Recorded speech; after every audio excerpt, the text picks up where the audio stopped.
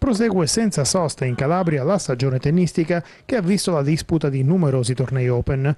Uno degli ultimi si è giocato a Davoli in provincia di Catanzaro sui campi dello Sporting Club San Francesco. Un torneo prestigioso come testimonia la qualità dei finalisti.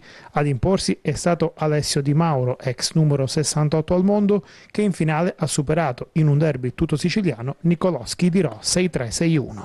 Un match a senso unico che ha chiuso un torneo ben organizzato e di ottimo livello tecnico. È un'organizzazione che va avanti da parecchio, da fine febbraio, abbiamo trascinato l'organizzazione fino ad agosto per cercare di far rientrare tutto nei canoni della perfezione sia per i giocatori che per lo staff che per gli spettatori che ogni anno veramente sono tantissimi e ci deliziano con la loro presenza. Siamo soddisfatti anche di tutti i giocatori che hanno preso parte no, dagli NC fino appunto a questo grande giocatore che ci ha onorato della sua presenza e che ha voluto partecipare al nostro Open.